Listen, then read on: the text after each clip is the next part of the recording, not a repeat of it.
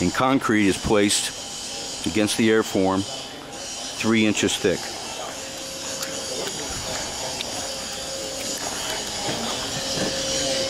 Here we have a uh, just recently completed dome. Because of its uh,